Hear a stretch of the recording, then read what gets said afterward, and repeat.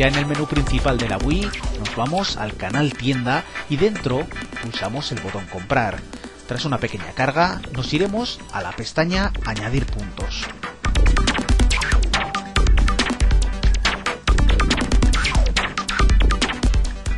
Veremos que hay dos opciones para adquirir los puntos. Nosotros elegiremos la de Wii Points Card. Como no, en el hueco situado en medio de la pantalla tendremos que meter el código de la Wii Points Card.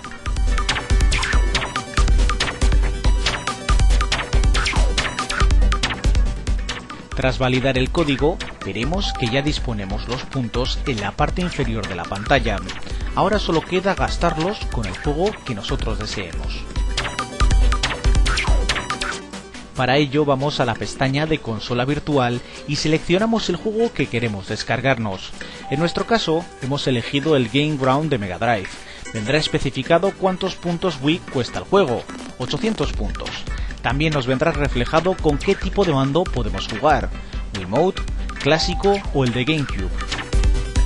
Comenzará entonces la descarga del título elegido a nuestra consola.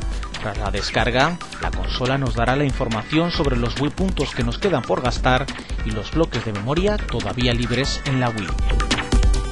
Ya en el menú principal observaremos que el juego descargado ha ocupado una de las celdillas de la interfaz de Wii. Accederemos al juego y ya solo nos quedará disfrutar con el título.